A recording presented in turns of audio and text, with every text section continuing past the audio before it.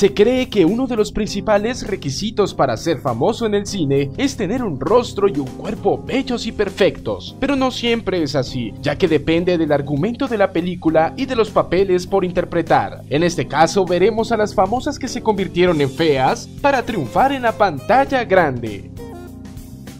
Cameron Díaz aunque siempre había figurado por su espectacular cuerpo y rostro, se derretó a representar el papel de un personaje extravagante llamado Lottie Schwartz en la película Cómo ser John Malkovich, en la que abandonó por completo su belleza para efectuarlo.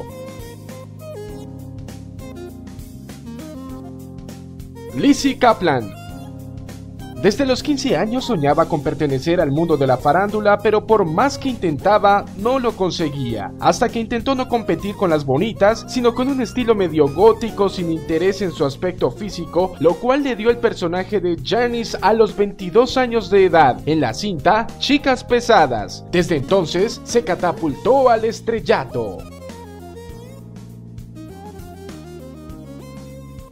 Naomi Grossman Luchaba incansablemente por obtener un buen papel en la industria del cine, pero no lo lograba. Le decían que no era tan bonita físicamente y que era más fácil transformarse en una mujer con fealdad extrema que en una top model. Entonces se dispuso a dicha tarea, logrando una aplaudida actuación en la película American Horror Story. Para ello tuvo que raparse y pasar por largos periodos de maquillaje profesional.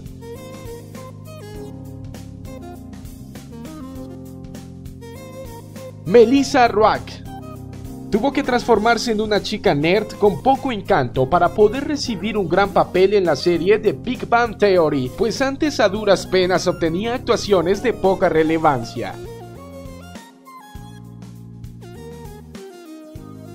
Emma Thompson desde temprana edad se impuso dentro de los famosos hollywoodenses, pero llegó el punto donde se quedó estancada su carrera actoral y debió afrontar un terrible cambio de look para volver a triunfar en dos oportunidades. La primera para realizar el personaje de la profesora Sybil Trelawney en Harry Potter, la segunda como la niñera tétrica de Nanny McPhee.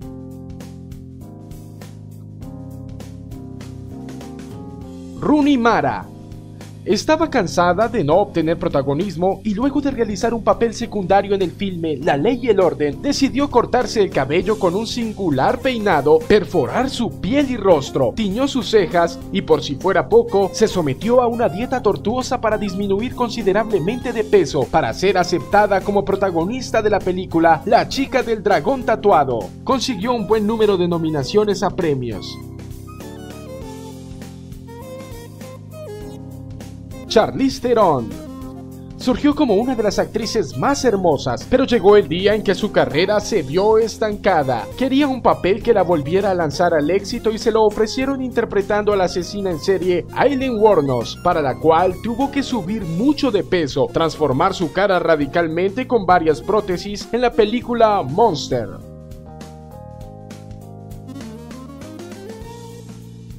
Ana María Orozco es la protagonista de una de las telenovelas latinoamericanas más famosas del mundo, Betty la Fea. Obviamente tuvo que afrontar una transformación del cielo a la tierra, pues se trata de una espectacular modelo que pasó a ser una desalineada secretaria en la novela, con frenillos pronunciados, gafas gruesas, un copete desagradable y una forma desastrosa de vestir y de hablar.